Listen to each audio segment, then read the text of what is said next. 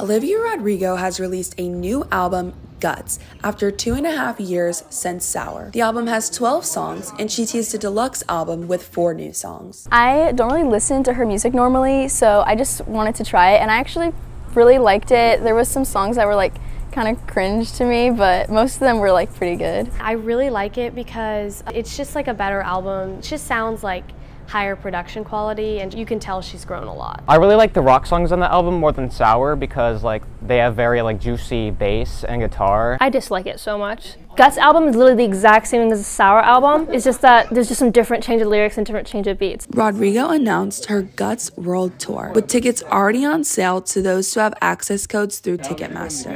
She will be coming to Florida March 5th and 6th. For WCTZ News, this is Evangeline Trezera reporting.